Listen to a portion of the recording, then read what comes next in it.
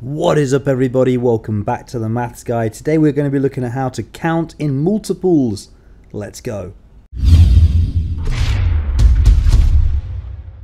Okay, so let's remember that multiples are numbers that are in the times tables. And today we're going to focus on these four numbers here. We've got number 4, 8, 50 and 100. So let's start with number 4. And what we're doing is we're trying to find numbers that are in the 4 times table. So 4 would be the first one because that's just 4 times 1. But what's the next one? What happens when we get to times 2? Well, all we're doing essentially, we're doing 4 plus 4. And 4 plus 4 equals 8. So the next number in our multiples would be 8. 4 times 2 is 8. And if we're timesing it by 3, all I need to do now is 4 plus 4 plus 4, which is 4, 8, 12. So I have an answer of 12. So therefore, my next multiple would be 12. Because what we should notice is all of these jumps are just adding on 4.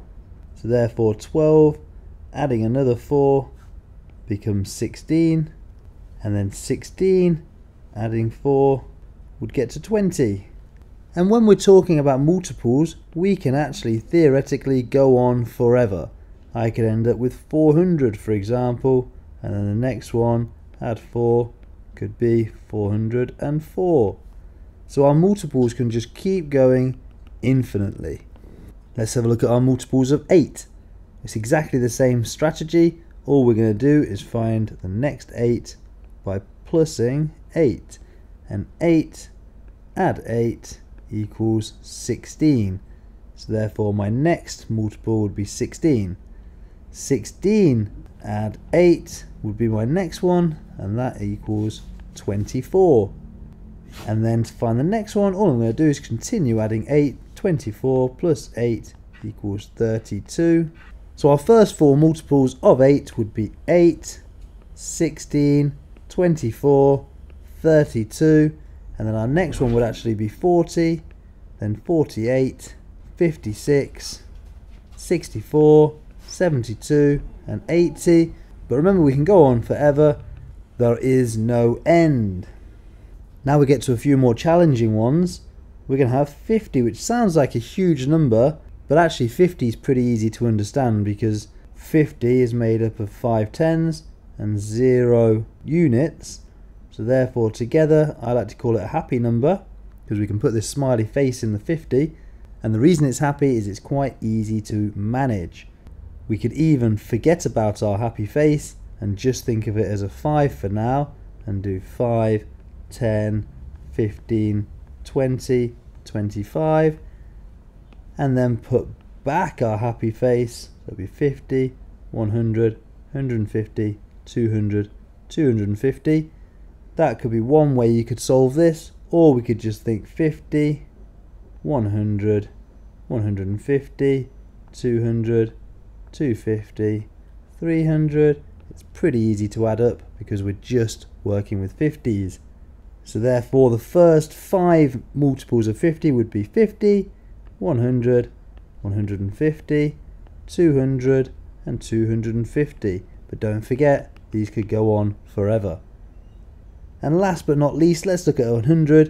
100 is actually probably the easiest on this list because we have 100, then 200, 300, 400, 500. These are all multiples of 100.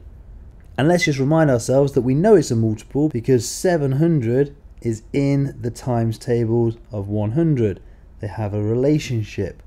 We would times 100 times 7 in this case equals 700. So we have our number, we're multiplying it by another number and we get 700. Therefore 700 is a multiple of 100. It's also a multiple of 7. But we'll get to that in another lesson. Let's look at what to remember. When we multiply a number by another number, we get a multiple of both of those numbers. In other words, multiples are numbers in the times tables. Your turn. Can you write the first 10 multiples of each of these numbers? Put your answer in the comment section. I'm going to mark them all. Good luck. Press pause now. And there you go. Hopefully this video was helpful for you. If it was, think about subscribing to the channel or share this video with someone else you think it would benefit. But for now guys, thank you very much for watching. See you in another video. Peace out.